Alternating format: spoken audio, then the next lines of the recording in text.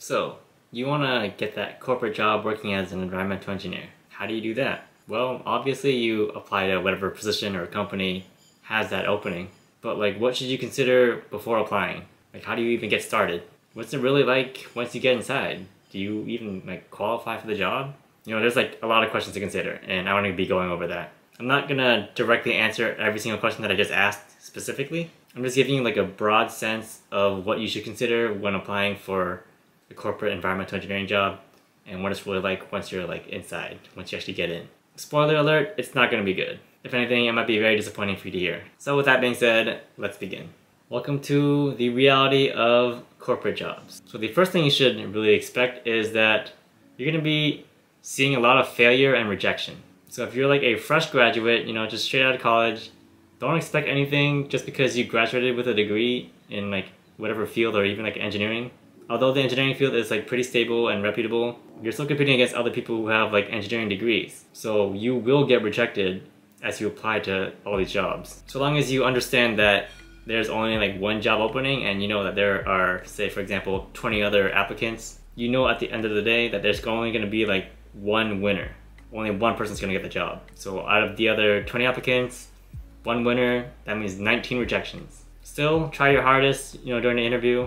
Just think the worst case so you don't like get disappointed at the end. And if you ever do get rejected, you know, just move on into the next application. And good news, I guess even if you do get the job, still expect to be failing a lot as you progress, you know, as you just enter that job. You'll be messing up a lot and learning a lot on the way. The next one. Understand that what you learn in school and, you know, your university, it's not always applicable in like the real life situation. So for example, you might have learned a lot of math or calculus during your engineering coursework. These are like prerequisite classes for your engineering work, but you will most likely 99% of the time not be using calculus on a day-to-day -day basis. Yes, it is good to have like that background knowledge and experience and you know understand where that concept came from, but again, at the end of the day, I guarantee you, you won't be spending any time doing that at work. You're not gonna be wasting your time solving like differential equations or anything. The same thing applies for like all general other knowledge.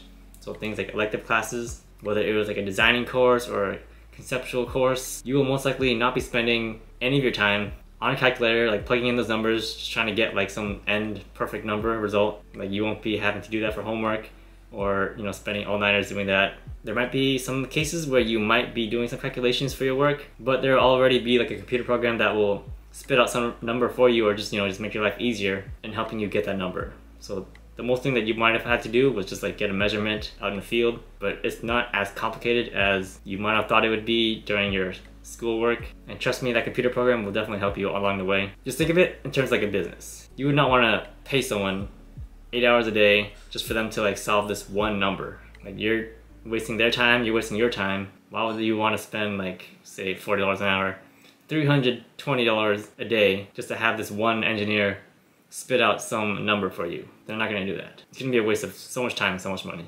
The third one about corporations, you should have realistic salary expectations. So if you're a new graduate and you expect to be making like over six figures and you have like no work experience, you're kidding yourself. Yes, you do want to make a lot because you know you worked hard a lot during school and you know that engineering is going to be a pretty reputable, stable career in the end. All that reward comes with time and experience. So don't expect a handout from some company thinking that they'll feel bad for you. They'll just move on to someone else who is willing to take less pay. I know it sounds like so merciless, so mean to you. And you as like an employee should negotiate your salary, but don't go like overboard on it. Still be realistic with them. I mean, come on, you made it this far into like the interview process, you know, you got the offer. Think one step ahead and pretend you are the business. Like see yourself in their point of view. See it from all angles you're a planner here, you should be able to predict something like that. The fourth one, and this might make your blood boil, but expect hypocrites. So you're in this field as an environmental engineer, and you want to better the world, right? You want to lead it towards a more sustainable future and like save the turtles and everything. So you envision this world as like a utopia.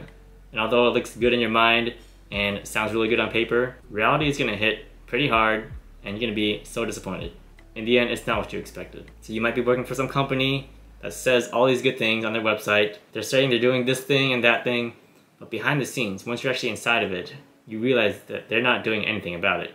So it's only once you're inside that company do you see all the smoke and mirrors. I feel like I'm exposing some evil company, but in general, most of them are like this. They're not all what they seem to be. And again, what sucks is that you visit the company website, you might have been interviewing with the manager saying like, what do you know about the company? Like, what do you like about us? Why do you want to work here? It has that about us page and then you'll read all these wonderful things about it, saying that the company's doing this wonderful thing, events, and they have all these nice pictures. But inside, once you're inside that company, it's pretty nasty and toxic and they don't even care about the environment, they don't even care what they're saying.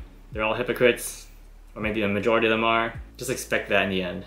There's always going to be corporate politics. And lastly, when push comes to shove, just be in it for yourself. You gotta be selfish here.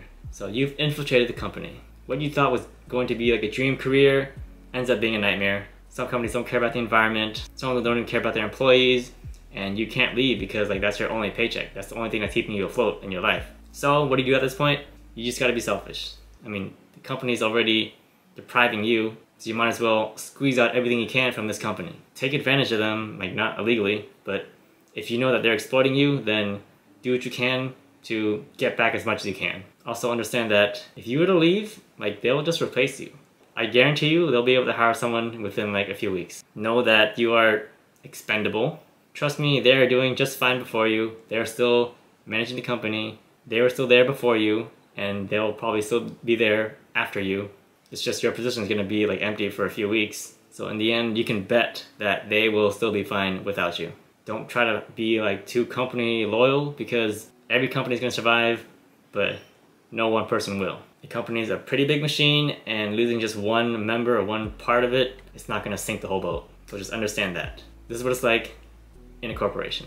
All right, yeah, so that's like the blunt truth working in a corporate job. In a big corporation, again, it's a whole big company with many moving parts, many people that, you know, just losing one person, one you think would be a key member, they'll survive. They'll be fine without them. They might not be as efficient, but trust me, they'll still float by, they're still gonna make profit, and it's gonna be you who's hurting the most. You who might be unemployed. You who has a family to feed. So just be warned. All right, so that's my take on it because I work for a corporation.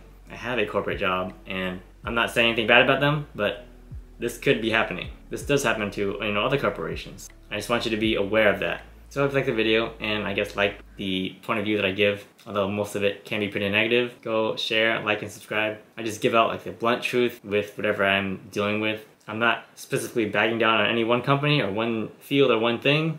I'm just giving out my perspective my warnings, both good and bad, of what I'm experiencing. So thanks for watching, and I'll see you in the next one. Goodbye.